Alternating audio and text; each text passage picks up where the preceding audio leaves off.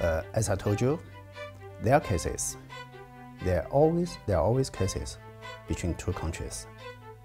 Before COVID-19, that's a specific difficult part of the period. There are over one million, around one million Canadian citizens coming to China every year. So if those one million Canadians that they are not worried about the safety, I don't think that you need to worry.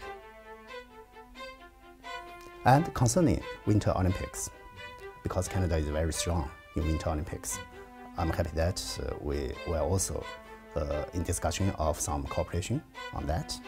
Concerning what you mentioned, the boycott, the call for boycott of Winter Olympics, actually I don't hear very much. Uh, there, there are always some noises uh, here and there, but I don't hear, I don't think that's a kind of uh, wide cry from the vast majority of the international community. And I don't think that's, a, that, that, that's, that, that's in the interest of all the other countries. You should give me the why it should be an issue.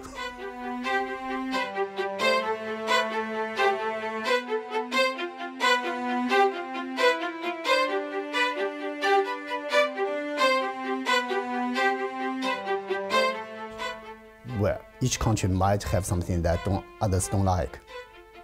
But you know that before COVID-19, not only the 1 million Canadians came to China on a regular basis, even between China and the United States, every day, there are over 15,000 people coming, flying across the Pacific. So why they don't worry? So only just a few, maybe a couple of people, a couple of politicians, they cry a lot. And hopefully, media will not just focus on them.